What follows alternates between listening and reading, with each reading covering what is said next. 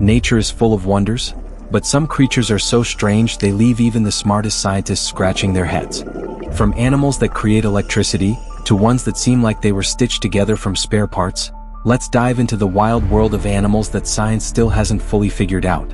Let's start with the platypus. At first glance it looks like a joke, the beak of a duck, the tail of a beaver, and the body of an otter. When British scientists first saw it in the 1700s, they thought it was a fake sewn together by taxidermists.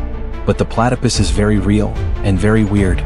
Not only does it lay eggs like a reptile, but the males can also inject venom with their back legs, and they hunt using electroreception, detecting electric signals in the water.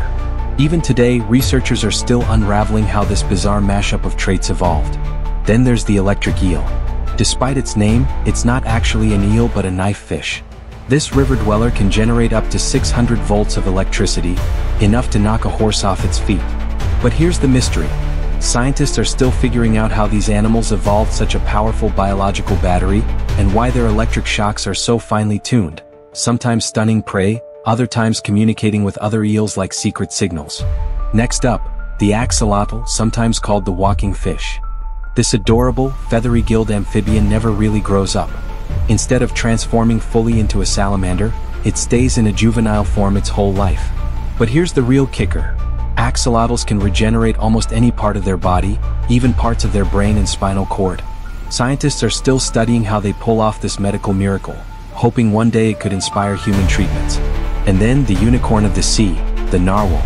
This Arctic whale has a long spiral tusk that can grow up to 10 feet long. For centuries, sailors thought these tusks came from actual unicorns. Scientists now know it's an overgrown tooth filled with millions of nerve endings, but its exact purpose is still debated. Is it used as a weapon, a sensory organ, or maybe even a way to attract mates? The truth remains slippery, hidden beneath icy waters. From the electric eel's shocking power to the platypus patchwork design, these animals remind us that even in the 21st century, nature is full of mysteries. The more we learn, the more we realize just how little we truly know. If you enjoyed this journey into the animal kingdom's biggest puzzles, make sure to like this video, subscribe for more fascinating discoveries, and hit that notification bell so you never miss the next adventure.